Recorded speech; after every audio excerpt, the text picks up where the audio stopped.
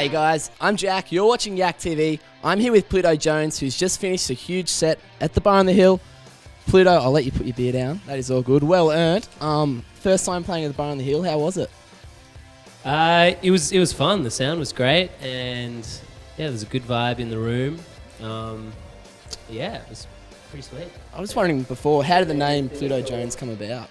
Just a random thing, or You know, parents were drunk. parents were drunk? That's all right. I guess it's working out for you now, isn't it?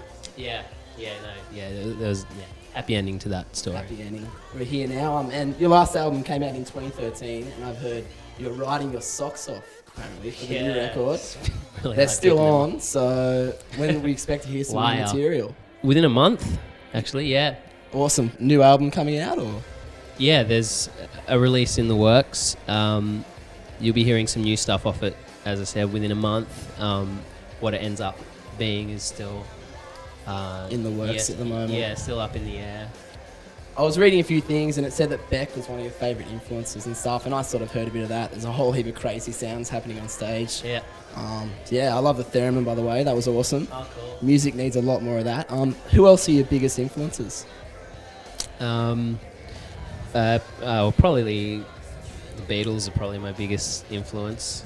Uh, I'd say growing up, but in the new stuff, um, I think there's a bit of David Byrne, Talking Heads, um, and the stuff we're about to release. I don't know. It's it's pretty eclectic. Yeah, Um, definitely.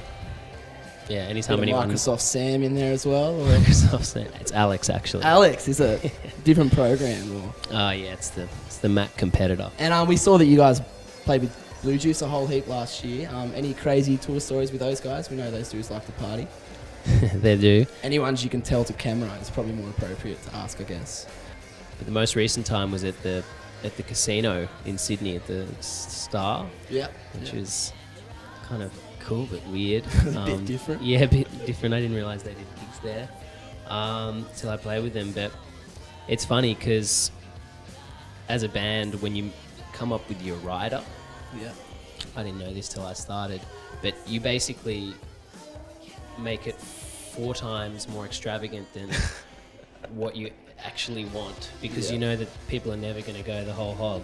Yeah. Um, and you know, so here I was asking for a you know sandwich platter, and they've got, and of course because it's the star, they, they go they actually Yeah. actually did the whole thing. Yeah. So we had like four different types of figs, and they were sharing them with the band.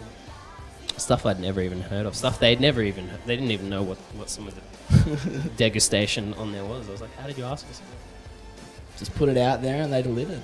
They delivered big time. So yeah, any young bands that are out there, play at the casino. They look after you. Ask for everything you can.